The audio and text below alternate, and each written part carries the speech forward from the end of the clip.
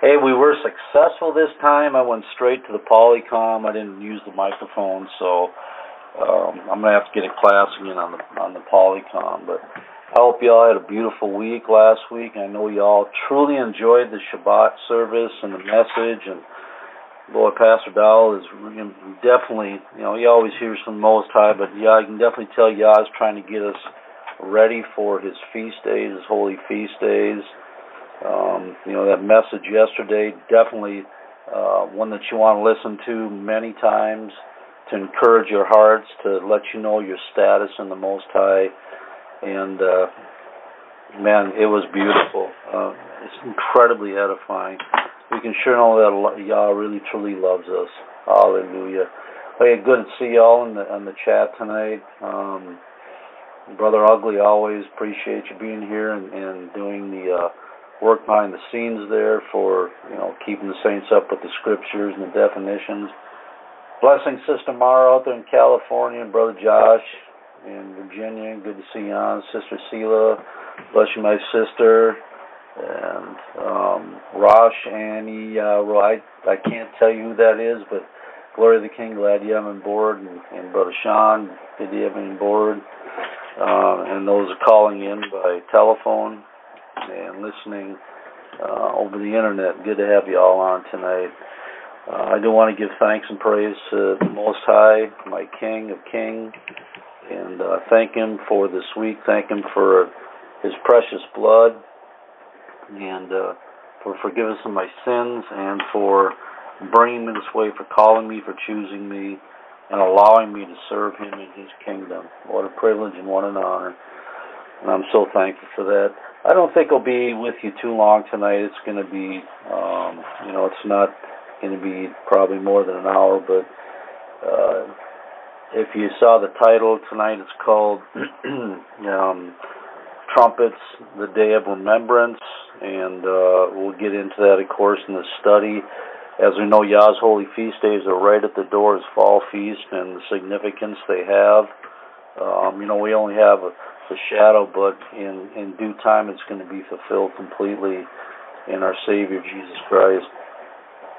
So it's these things that we ought to keep in our mind, keep focused on, um, you know, keep at the forefront always, uh, especially coming these seasons, because they are Yah's holy feast days. Um, and He's allowing us as His people to, you know, participate, to celebrate, to remember and embrace all of them. So with that, we're going to get started. Again, thank you all for joining in tonight. For those of you who may not know, this is Elder Douglas Becker, um, an elder with Straitway Ministries. All right, the, the title again is Trumpets, and it's called The Day of Remembrance.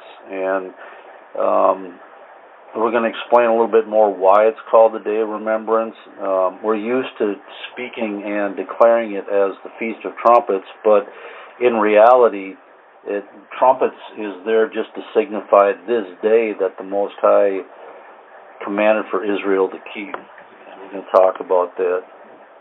All right, unlike all the other set apart appointed times that Yahweh instructed Israel to keep, what we commonly refer to as the Feast of Trumpets had not been given a specific reason for that particular appointed time. There is no distinct hard fact of what that day was supposed to signify, unlike, say, the weekly seventh day Shabbat, or the Passover slash Feast of Unleavened Bread, or tabernacles, which were meant to be reminders of the captivity in Egypt and the liberation from its bondage or of the Day of Atonement, which was a clear display of reconciliation for our sins, or the Feast of First Fruits, uh, Shavuot, Pentecost, which marked the harvest of the spring crops and the giving of the Ten Commandments. So, what was Israel to recall to mind, to be reminded of, to remember on that day? Talking about what we commonly call Feast of Trumpets. Was it an event or happening which had already taken place? Or was it more directed to events which would come at a future date from the time it was given, from at that time that it was given to Israel? All right, I'm going to break down seven uh, uh, facts about this feast of uh, the Day of Remembrance. All right, number one.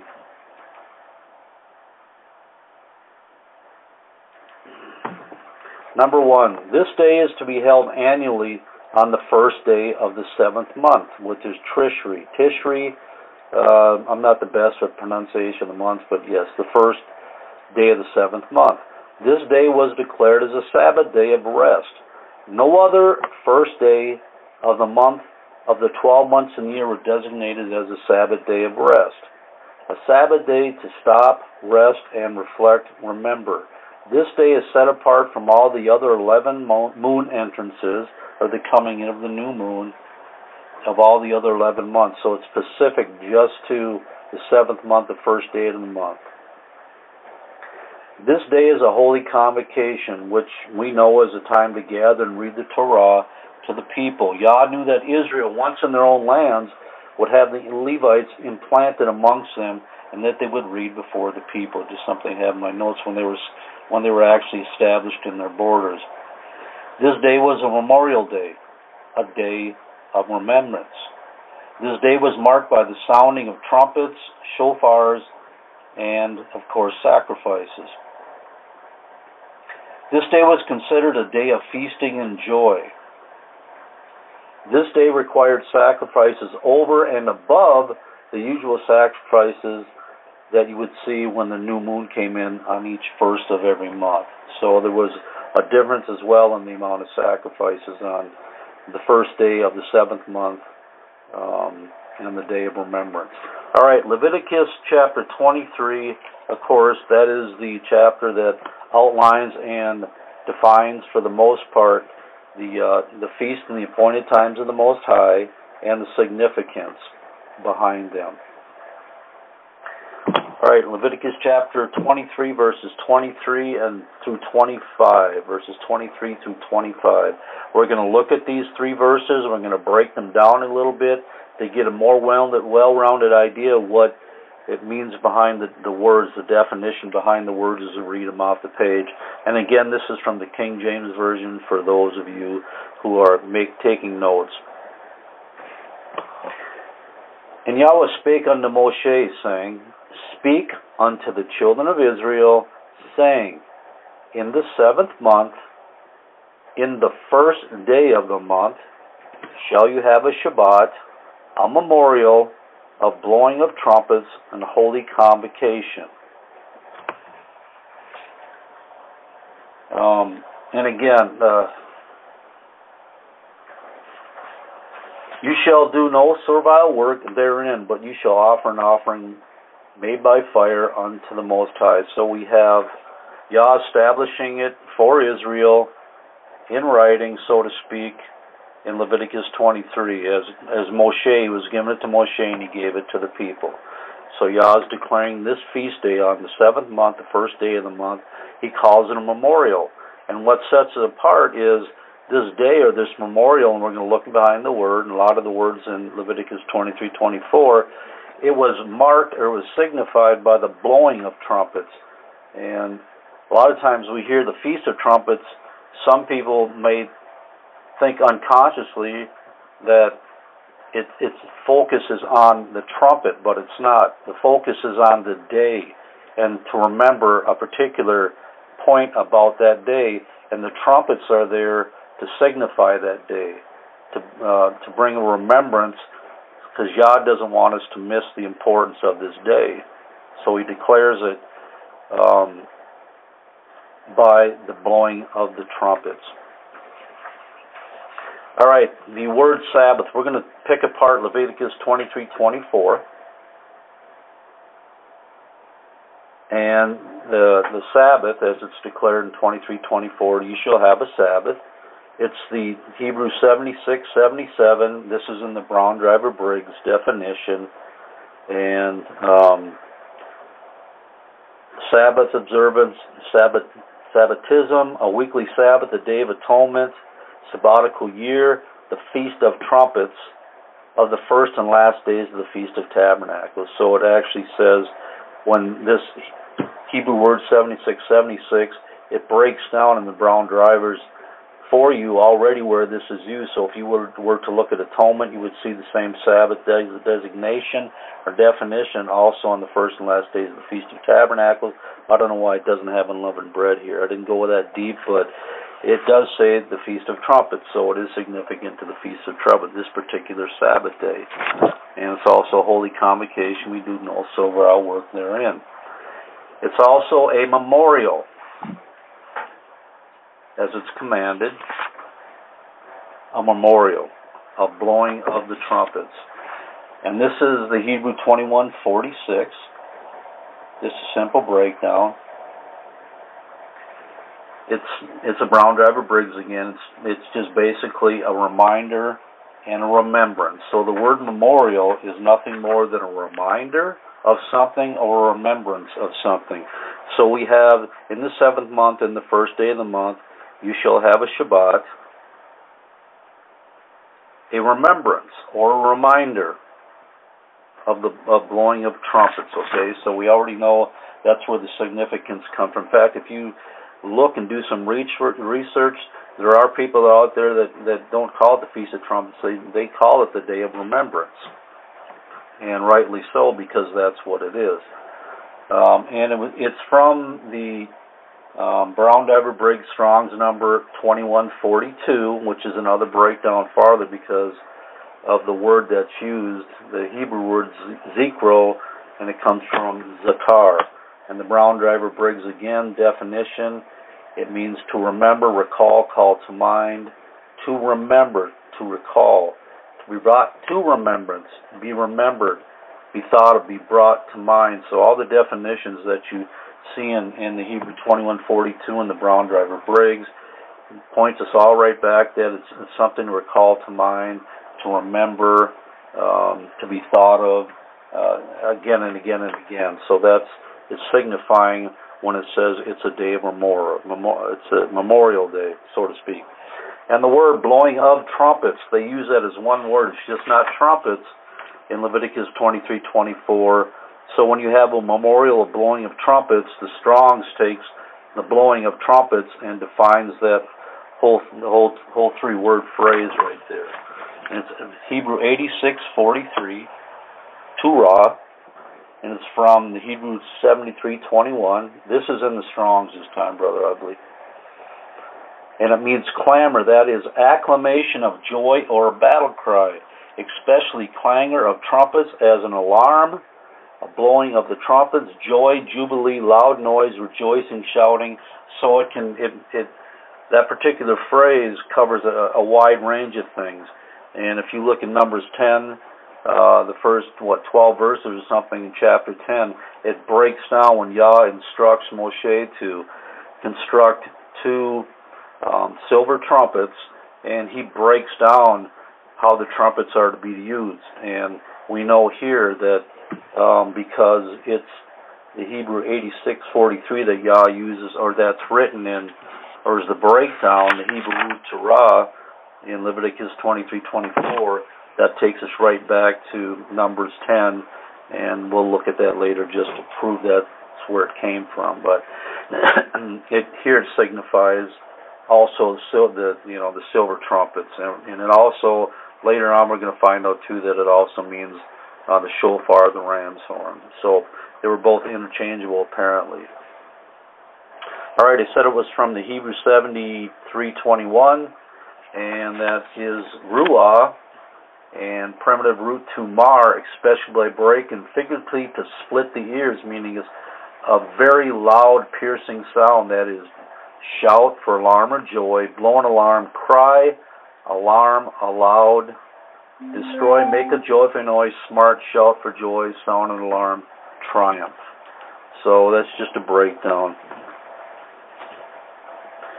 Sorry, give me a second. I'm getting text. People must not realize I'm on the air. Alright. Anyway, glory to the King. And so what I'm going to do is, so I got some of uh, um, Leviticus 23, 24 from some other um, Bibles that I have, and I'm going to read as the way that they're written in the other Bibles. I'm going to give you the names of the Bibles that I'm reading from so you can see and kind of start to get a clarity of what um, we read in the King James, how it's broken down and brings more clarity to mind about what what this day of remembrance and how it's proclaimed and how it's written in other uh, publications. All right, the revised standard version, Brother Ugly, I understand you may not have all these, so no big deal, so I'll just go ahead and read them. But the revised standard version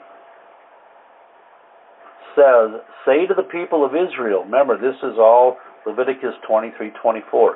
In the seventh month, on the first day of the month, you shall observe a day of solemn rest, a memorial proclaimed with blast of trumpets, a holy convocation. So here the, the RSV says this is a memorial, and it's proclaimed or it's announced with the blast of trumpets. Again, the focal point is trumpets.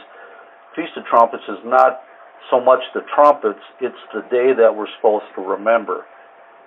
All right, the Israelite Samaritan version of the Torah, which I have in my library, says, Speak to the sons of Yisrael, saying, In the seventh month, on the first of the month, you shall have a Sabbath rest, a reminder, a blowing, a holy reading.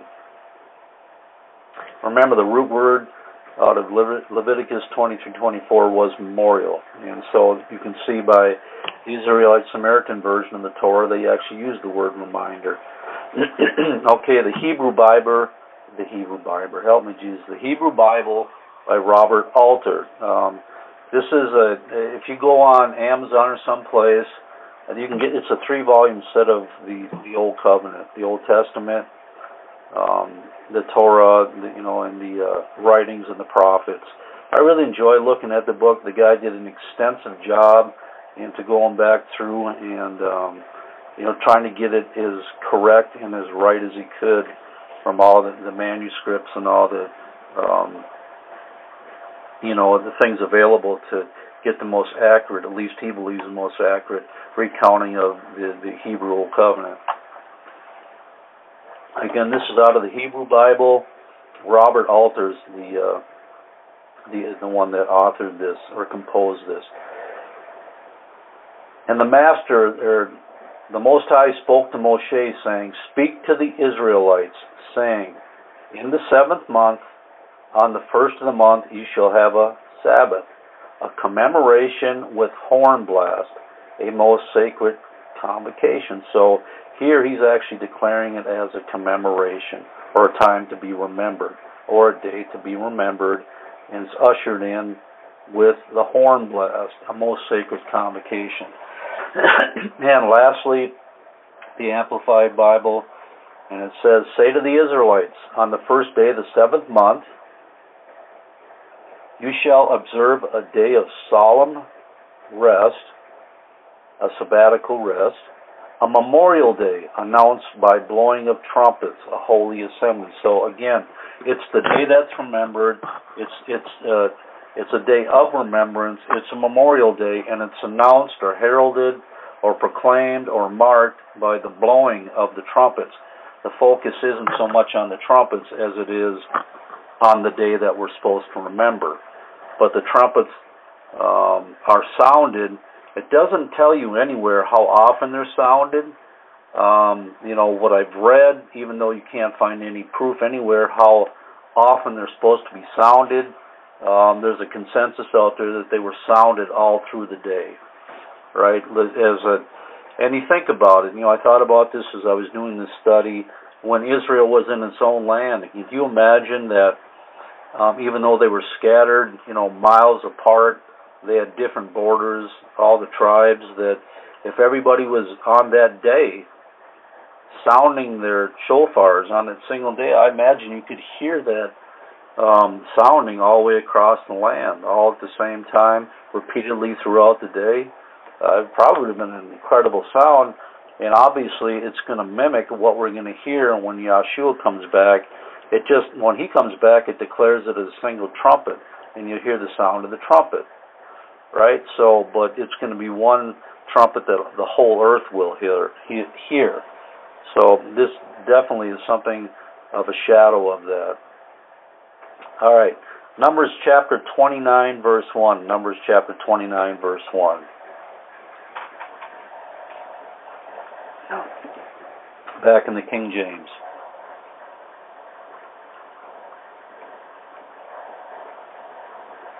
Says, And in the seventh month, on the first day of the month, you shall have a holy convocation.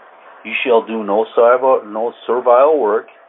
It is a day, meaning a singular day, of blowing the trumpets unto you. So it's the day where the trumpets are blown on this day, this holy convocation, this memorial day, this day of remembrance.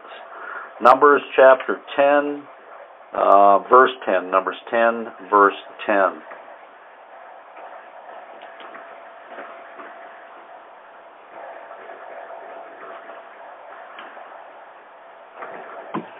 Also, on the day of your gladness and in your solemn days, we're going to break down Numbers 10:10 because it's important. And in the beginnings of your month, you shall blow with the trumpets over your burnt offerings and over your sacrifices, your peace offerings, that they may be to you for memorial before, which means in the presence of uh, Yah. I am Yahweh the Elohim. So we have again, also on the day of your gladness, and that that term like that, the day of your gladness, could have been like when David and the Israelites brought the ark back into the city, or when Solomon brought it back into the temple, right? This was definitely a day of gladness. It wasn't necessarily on a feast day or anything, but it was a, a, a day that was much heralded, and they they sounded the trumpets on that day. You can go read it. I think it's in First Kings and uh, other places where um, you know you, you'll read how they when the ark was brought and how they sounded the trumpets and the singers sang and uh, all them type of things. But anyway, also in the day of your gladness, in your solemn days, in the beginning of your months, you shall blow with the trumpets over your burnt offerings and over the sacrifice your peace offerings, that they may be to you for a memorial before or in the presence of your Elohim. I am the Yahweh your Elohim. All right, memorial. Again, it's the same word used in Leviticus 23:24, just a reminder or remembrance or to mark something, which is the Hebrew 21:42. Um, I don't know why I got that in my notes. Yeah, just standard protocol, typical soundings for these particular events because they were things that Yah designated. Beginning of your months would have been in the full moon and over your burnt offerings, your sacrifice, your peace offerings. So Yah is declaring in Numbers 10, chapter 10, um, that these things are all reminders on these certain days that you're supposed to be doing. all right, solemn days, days that were meant to be taken seriously. Those which were unlike any other days of the year, special and highly important, as was it was on uh, the feast or the day of remembrance and the, the blowing of trumpets on the first day of the seventh month. Um, what is the true meaning of solemn? Uh, the word solemn, as you look up in the dictionary, it means very serious or formal in matters. So these solemn days, these very serious days, these very formal days, um, in your behavior, expression of solemn procession, a solemn face. So basically, the breakdown, solemn means something that's very serious, something to take um, great note of something that's very important, and Yah wants you to be on your P's and Q's on these days because He He uh, put them out there for Israel, and He expects us to embrace them fully and to take them seriously. All right. Psalm 81 verses 1, Psalm 81 verses 1 through, let me see, and I'm kind of going in and out of Psalm 81. I'll be going in and out and kind of bringing things in to highlight particular verses. But it's um, Psalm 81, 1 through 16. Psalm 81, 1 through 16. Excuse me. All right, to the chief musician upon Gittith. And there's there's something behind the word Gittith. Uh, it means something about the wine or something, I guess.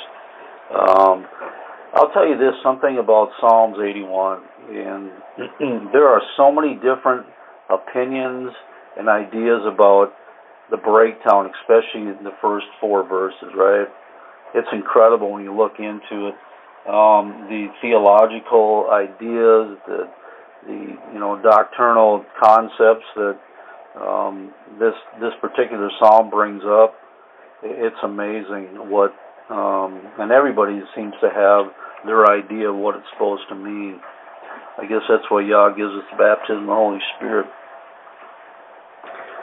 To the chief musician upon Gittith, a psalm of Asaph. Sing aloud unto Yahweh our strength, and make a joyful noise unto the Yah of Jacob. so he's given us instruction right from the beginning. This is what we're to do. Sing aloud unto Yah our strength, because we sing aloud because it's our strength. Why is, our, why is he our strength? We're going to find out. Make a joyful noise unto Yahweh our Elohim, the Yah of Jacob. Take a psalm. Bring hither the timbrel, the pleasant harp, with the psaltery. And us here, when we celebrate well, I'll just use the term, the Feast of Tabernacles, Feast of Trumpets, um, we do the same thing. We always have music. We we uh, um, shout for joy. We bring out the instruments and give praises and sing aloud to the Most High. We make a joyful noise unto Him. So here they're assembling. The the instruction is to sing aloud, assemble the instruments. And the reason is, in verse 3, blow up the trumpet in the new moon in the time appointed on our solemn feast day. So basically, sound the shofar at the beginning of the month, in the time that Yah had already declared in His law, on a day such as the sounding of the shofar on the day of remembrance, the solemn set apart Moedim. And the word, the meaning of the time appointed, oh, excuse me. If you look behind the I, be, I believe it's in the Strongs and the King James. Um, when it says this, actually, Pastor covered this. He did a newsletter on the moon, I think, in in in, in 2012. And if you haven't read it or didn't know about its whereabouts, you just go back to the website, download it. You really do need to read it because Pastor did a masterful job of breaking down and uh, about the moon, the moon phases, the conjunctions, and everything else. But if you look at in the time appointed, on Psalm 81:3. There's a the definition in the in the uh, Strong's is that it says the full moon, right, which is deceptive, and we're going to explain why that is. And again, Pastor covered that, and I did go back, obviously, and as part of my research, look at what he wrote on Psalm 81 in there. And because again, there's such a varied opinion. Some people claim this only has to do with the Feast of Tabernacles. Some uh, believe that it's talking about um, the Feast of Trumpets uh, or the new moons. Every beginning, very first month, is talking about the time appointed. When they use it in the full moon, meaning on the the middle of the month when the Feast of Unleavened Bread or the Feast of Tabernacles comes in, or on the solemn feast day. But that's not what they're saying when you do the breakdown. and again, Pastor did a great job in the newsletter breaking this down. So um, with that help, he didn't leave a whole lot of study on my behalf, but um, still, I need to look. So, so the meaning of the time of appointed is commonly thought to mean in the full moon, but it should be more correctly interpreted as meaning the time when the moon is covered or full of darkness with just the sliver of light. So it's not the full moon. It's when it's it's it's totally covered, when it's totally black and slivered. When people say the full moon, they get the impression that it's the white moon, but that's not what this is talking about. It's talking about at the very beginning of the month when the moon is completely black. It's covered in darkness. That's the more proper term to it, okay? And in Pastor's newsletter, he said if they would have meant to say white moon, they would have put the Hebrew word in there, but they didn't. They meant full moon or when the moon comes in. So obviously, when you look at Psalms 81:3, it's talking about at the beginning of the month, and then it says on our solemn feast day. I mean, there it's singular, not plural. And somebody made the argument, well, you know, it can't be trumpets because the word feast in Hebrew is chag, and they didn't they didn't use um, the word chag or feast to define the day of remembrance or trumpets. But that's BS because Leviticus 23 said right at the very beginning, these are the feast of the Most High, and it lists them all, all seven of them. So this guy's argument didn't merit any looking into, but that's the difference of opinions out there. So that's what it means. So this particular verse, 81.3, is pointing directly at the day of remembrance, at the blowing of the trumpets, to bring to memory remembrance of something specific about that day. Um, and the only other time this you find this um, word um, appointed is in Proverbs 7:20, and it's talking about at a particular time. That's when I think that's when the the uh, the woman that's the, the the adulteress says, "In that day our master shall come home in the day appointed." All right, in the fullness. Yeah, for the good man is not at home. Proverbs chapter 7, 19 and 20. It says, For the good man is not at home. He is gone on a long journey. He hath taken a bag of money with him, and will come home at the day appointed when the day is full.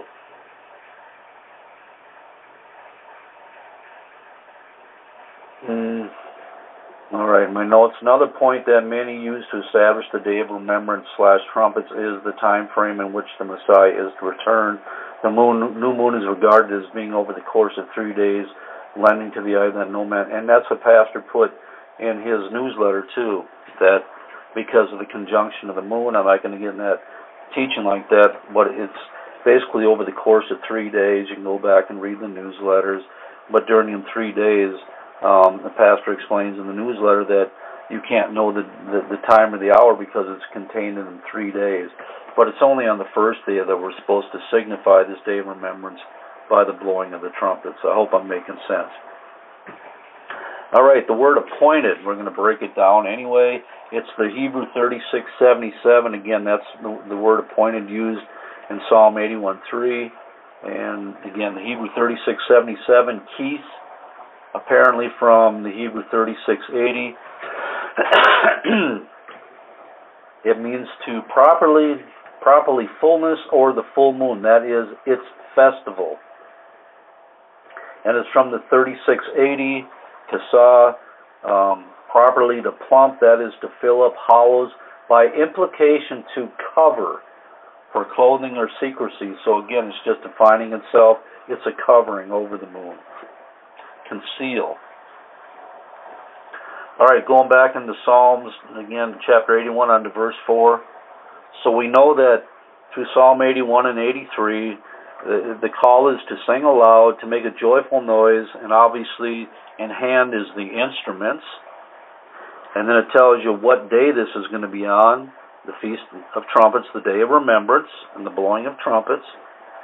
And then on Psalm 81 4, and it says that this was a statute for Israel and the law of the Yah of Jacob. So, so whoever wrote the psalm is pointing us back that this indeed was a statute or an ordinance written for Israel by the Torah of Yah given to his people, Israel. And again, the word was, for it says, for this was, meaning, you know, if you don't, if you, if you don't, if you're not careful, um, I know us as Straitway, we know better, but this isn't something that has happened and, and it's no longer something to be observed. But other people may say, well, you know, it says it was, so it's has been, we don't have to deal with it no more. That's a bunch of crap. You know, they, they could have changed the writing a little bit, but one word here or there, you know how that can really mess it up. But this still is a statute for Israel. And verse 5 This he, meaning Yah, ordained, what did he ordain? This statute for Israel. This he, Yah, ordained or established in Joseph for a testimony or a witness when he went throughout the land of Egypt where I heard a language that I understood not and that verse there too, Psalm 81:5, there's a lot of uh, uh, injection of thought in that that particular verse, and what where I heard a language that I understood not. Some say that that it's because of um, you know Joseph being Israel, the first one to enter into Egypt, and to make the entrance, he did. He heard a language that he didn't understand, and you know you you've got that proof in the fact that in Genesis 42:23, you don't have to put this up here, Brother Ugly, and Psalms 114 verse 1, that it says, I mean, why would Joseph had to use an interpreter? He didn't have to, we understood, but for the people around him that only spoke, spoke the Egyptian language, he had to use an interpreter to speak between the Hebrews and the, Egyptians because it was a language that they didn't understand. So it, it's pretty much sealed, right? All right, back to some other biblical uh, uh, verses or other biblical um, meanings behind Psalm 81.5, which is say their uh, um, comparisons. All right, all right. Back to the Hebrew Bible by Robert Alter. That's A L T E R. That's his last name. And he says, and he's written in, in his um, writings or his, uh, what do you want to call it, his translation. For it is an ordinance in Israel, the rule of Yah of Jacob, a decree he declared it for Israel when he sallied forth against Egypt's land, a language I knew not, I heard. I'll have to read that again. For it is an ordinance in Israel. Remember, he said this is a statute for Israel. He's reading verses 4 and 5 together, and I put them together right here. For it is an ordinance in Israel, the rule of Yah of Jacob, as in Psalms 81 4 and verse 5, a decree he declared or ordained or established it for Israel when he sallied forth against Egypt's land. So when he's actually coming against Egypt. So now there's a little bit difference and variance in the language. And actually this is more correct than what the King James because it's giving you an idea of what this day of remembrance was pointing to. The day that Yah sallied forth or, or came against Egypt's land and again, a language I knew not I heard. And the Septuagint, it says, again, verses 4 and 5, I hope I'm not losing anybody, verses 4 and 5, For this is an ordinance for Israel, a statute of the Yah of Jacob. He made it to be a testimony in Joseph, or a witness, when he came forth out of the land of Egypt. So now the Septuagint is actually saying when they departed, when Israel departed from Egypt. Now, don't get confused. When he's talking about Joseph, actually the context is Israel as a whole. It's just that Joseph was the first one of the Israelites to um, set foot and become, uh, you know, planted in that land. When he came forth out of the land of Egypt, he heard a language which he understood not. And again, basically saying that this is the day to be, to be remembered as the day that Yah liberated his people from the oppression and enslavement of the Egyptians. So, in my conclusion, and what I've learned, especially through Psalms 81, is that this day of remembrance and this blowing of trumpets all the day long was there to remind again, as it was in the Feast of Unleavened Bread, as it was on the seventh day Sabbath day. And that's there, you can find it. And on the Feast of Tabernacles, they all point back to Israel coming out of their captivity, being delivered by the hand of the Most High, being liberated from their enemies. And again, this has profound um, uh, uh, future implications, of course, when Yahshua come back, because he's going to do the same things and deliver us from our enemies, and then he's going to judge the nations. All right, and. Uh, All right, the word statute. Okay, we're just going to break this down. Psalm 81, verses 4 and 5. Sometimes this stuff gets so loaded up, I don't know what the best time to insert stuff, but anyway, the word statute, again, in Psalm 81, 4 is in the Strong's uh, Hebrew 2706 from Hebrew 2710, and it means an appointment. Basically, just an enactment, hence an appointment. So, for this statute or this appointment, or uh, commandment, convenient, custom, decree, uh, the, all the definitions behind uh, the Hebrew 2706 just point back to what the statute was. It was a custom, a decree, an appointment, a special appointed time for Israel. And, and the Hebrew 2710 from which 2706 comes from, it means to um, Tahak, that is engraved um, by implication to an act. Laws being cut in stone or metal tablets in primitive times are generally prescribed, point decree, so you can understand what the word statute means. And then ordained, again, so this statute was for Israel in verse 5, thus he Yah ordained, and I read it before, it just simply means to appoint, establish, or, or found. So that's what we had. So Yah, he established this in Israel for a testimony to us, as a witness for us, or against us. Psalm 81:6, continuing back into Psalms again. Okay, so now let's let's do recap. Verses one through four, right? So we have again, just to get it back in people's minds, we have right at the beginning, um, sing aloud to the Most High, sing praises, make a joyful noise, and then again, it's doing it with the instruments. And then we got verse 3 and 4 talking about what particular day this is supposed to happen, which we know now is the day of remembrance, um, the first day of the seventh month, the blowing of trumpets. And then on the uh, fourth and fifth verse, we understand that this was something that Yah specifically gave to Israel. Um, you got to remember now, Abraham said that way back there. I forget where it is, but he talked about that he kept the law, statutes, and ordinances of the Most High even before they were written. So people actually had knowledge of this, but this is actually established in Israel when they when they came out of the Exodus. Then it it, it brought on a whole new extra meaning because it always brought back to their mind the day they got liberated, if I'm making sense. But reading the rest of the Psalms, you're going to see that it goes both ways. So in verse 6, he said, I removed his, meaning Israel's shoulder, from the burden. His hands were delivered from the pots, or the baskets, or the, or the instruments they used to actually make the bricks.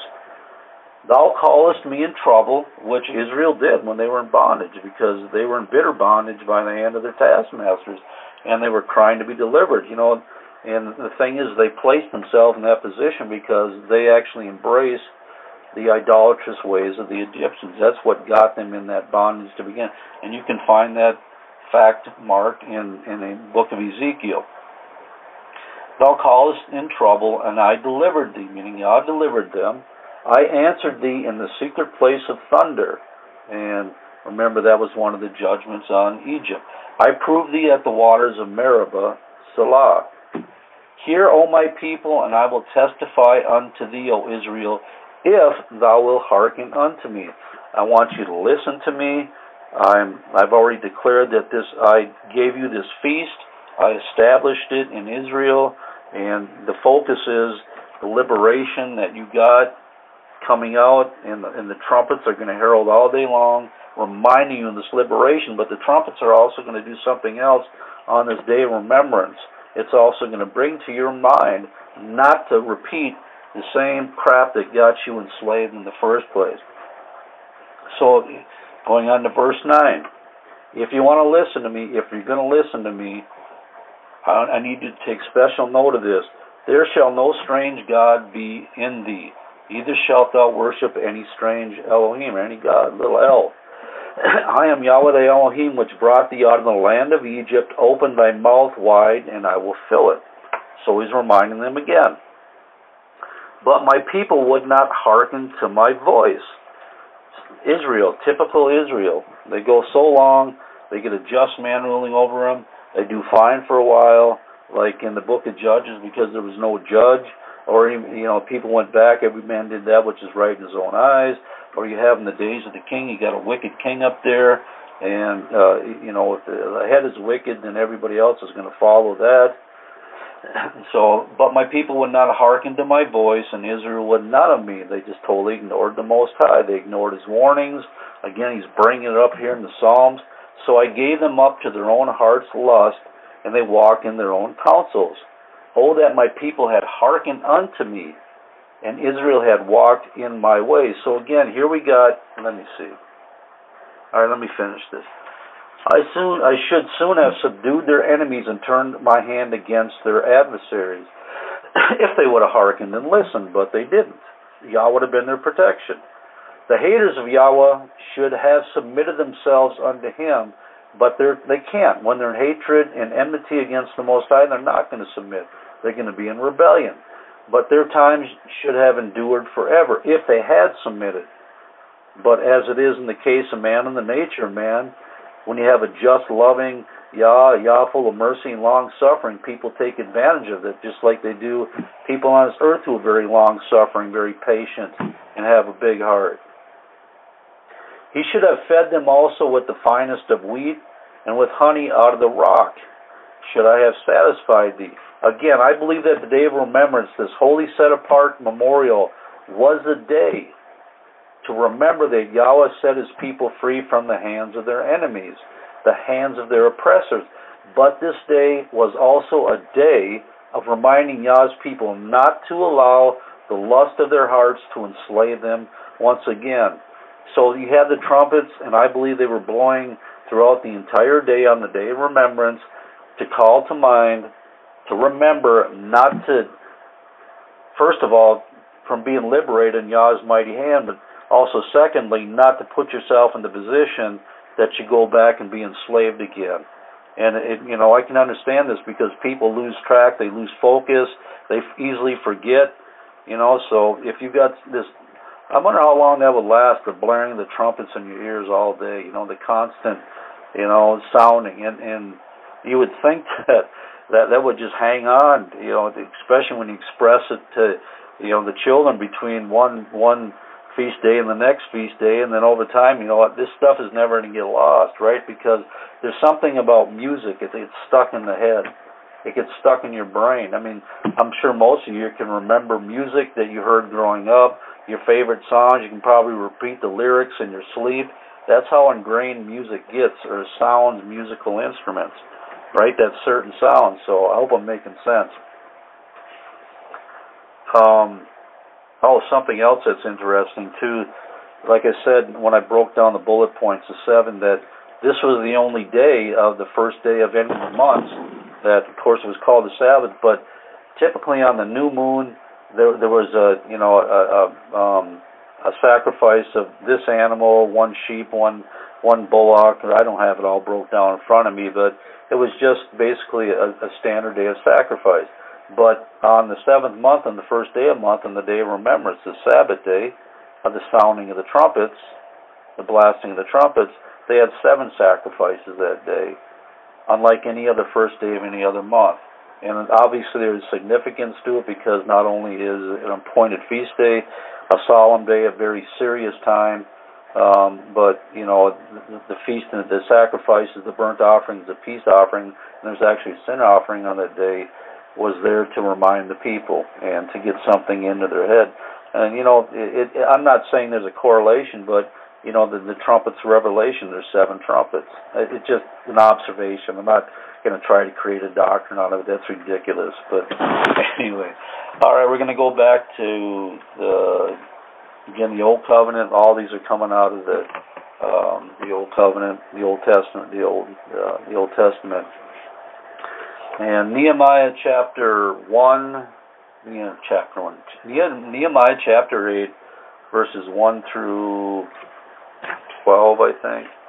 Yeah, verses 1 through 12. Nehemiah 8, verses 1 through 12.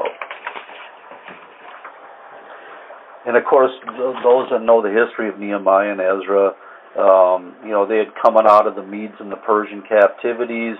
Um, I don't remember who was king right now at the top of my head. I'm telling you, as I get older, more of the stuff is starting to disappear. Unfortunately, um, it's more difficult to retain a lot of stuff, but I guess it just has to keep in front of my eyes to keep it there.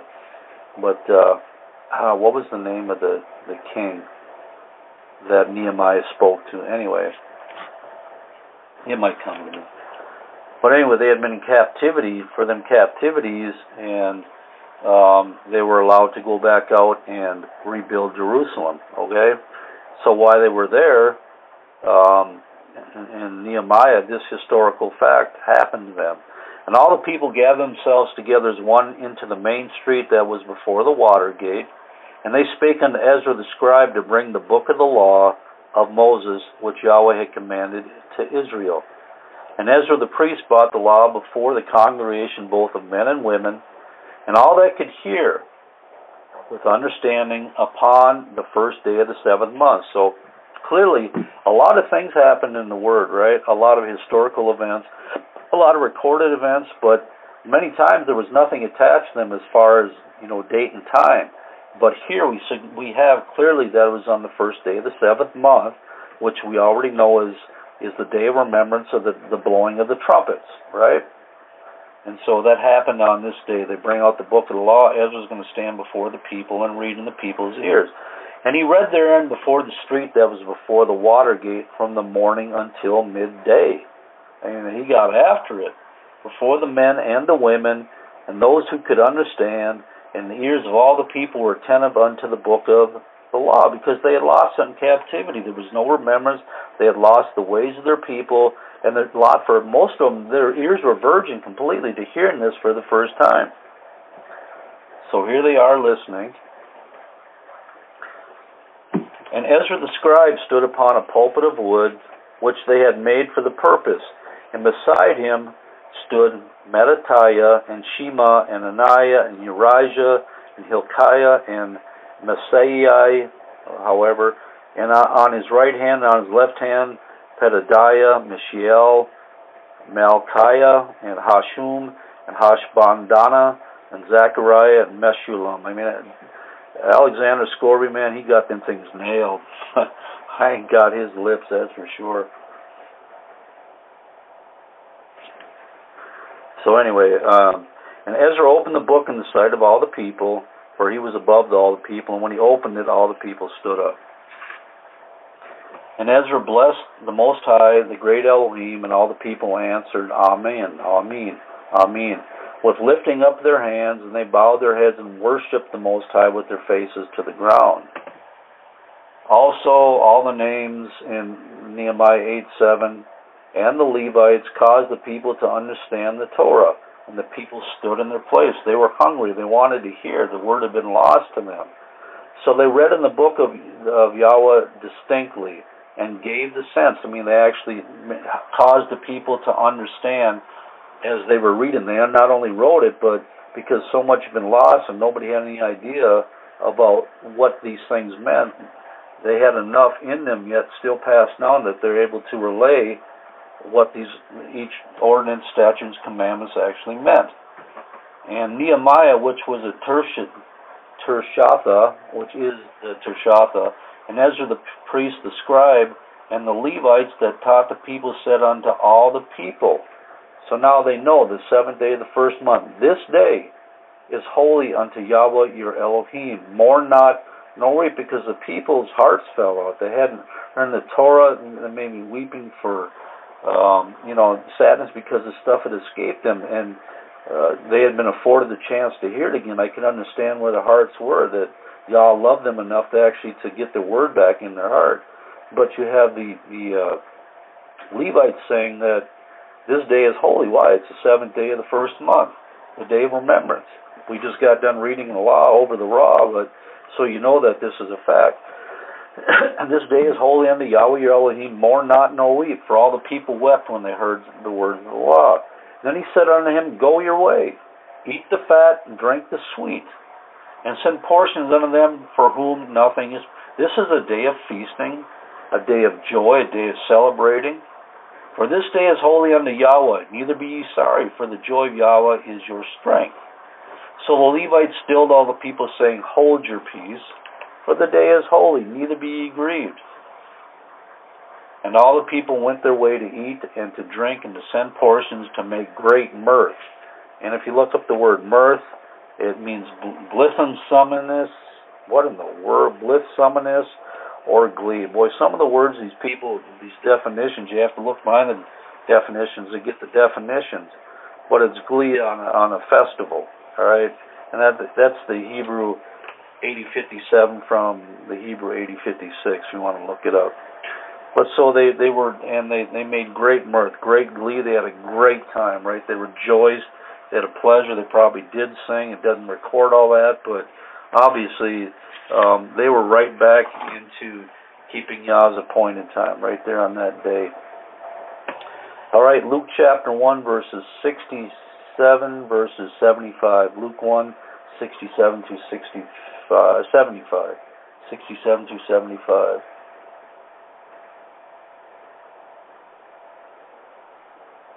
And his father Zacharias was filled with the Holy Spirit and prophesied, saying, Blessed be Yahweh, our Elohim of Israel, for he hath visited and redeemed his people. And he hath raised a horn of salvation for us in the house of David, his servant David. And he spake by the mouth of his holy prophets, which have been since the world began. Wow, what a statement. Since the world began, we've had the holy prophets. That we should be saved from our enemies and from all and from the hand of all that hate us. And the reason I put this in here, because this is talking about our Messiah. Again, this is a reminder about what he's going to do for us when he comes back. Uh, it's kind of like just like the reminder that we have in the day of remembrance and the blowing of the trumpets. That we should be saved from our enemies and from the hand of all that hate us. To perform this mercy promise to our fathers and to remember his holy covenant. The oath which he sware unto our father Abraham that he would grant unto us, Israel, his people, that we, being delivered out of the hand of the enemies, might serve him without fear, without fear of our enemies coming to try to overtake us. In holiness and righteousness before him all the days of our life. And of course, we know that's coming in the kingdom age. And I'll leave you with this. 1 Corinthians chapter 15, verses 51 52. And Paul writes to the church of Corinth, Behold, I show you a mystery. We shall not all sleep, but we shall all be changed. In a moment, in the twinkling of an eye, at the last trump, for the trumpet shall sound, and the dead shall be raised incorruptible, and we shall be changed. All right, glory to the King. That concludes the study on um, the day of remembrance, the, the blowing of the shofar, the blowing of the trumpets on this day and um, I hope I was able to bring some understanding to this and some, um, uh, you know, more of an idea what this particular feast encompassed and what it meant. Obviously, all Yah's feast days are incredibly significant, and we really need to dwell and think on them. Um, and I'm sure that uh, I hope that Israel is doing that, you know, even right now in the days leading up to the feast In fact, it should be something that's always in the forefront of our minds. We talk about uh, the word at a great enough length, but um, again, I appreciate y'all um, joining me tonight. And hey, if somebody ever finds out the exact significance to what Yah declared in Leviticus 23 and Numbers 29 is concerning this day, other than what I gave it, I'd like to see it because I can't find it. I looked everywhere unlike all the other feast days, they, they declare and they're written of what the true intended purpose is. But this day, for some reason, the closest we ever had was Psalm 81. And I believe it had to do with the coming out of Egypt and the reminder not to go back in again. Yeah, Brother Ugly, miss you too. Yeah, the border's still closed. This ridiculous, tyrannical governments. Anyway, bless you, Brother. But uh, hey, bless you, saints. Again, appreciate your time, your ear, and for tuning in tonight. And I hope you have a blessed week. Remember, pray for pray for our shepherd, Pastor Dow. Um, pray for your leaders. Pray for those that uh, are in head of your fellowships, and pray for each other um, that we may be healed. Y'all have a blessed week. This is Elder Becker, Douglas Becker signing out. Hey, much shalom.